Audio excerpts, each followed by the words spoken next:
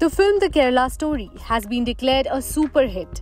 The Sudipto Sen film has earned a total of 147.4 crores in India and is inching towards 150 crore club. The film will soon cross the earnings of Ranbir Kapoor's starrer Tu Jhooti Main Makkar, which earned 173.9 crores at the domestic box office.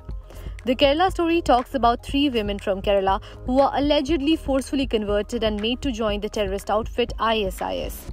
The film stars Adah Sharma, Yogita Bihani, Siddhi Idnani, and Sonia Balani in lead roles.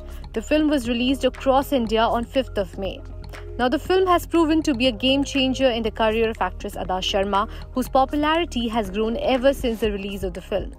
The success of the Kerala story has made Adah Sharma the highest grossing Bollywood actress for a female led film.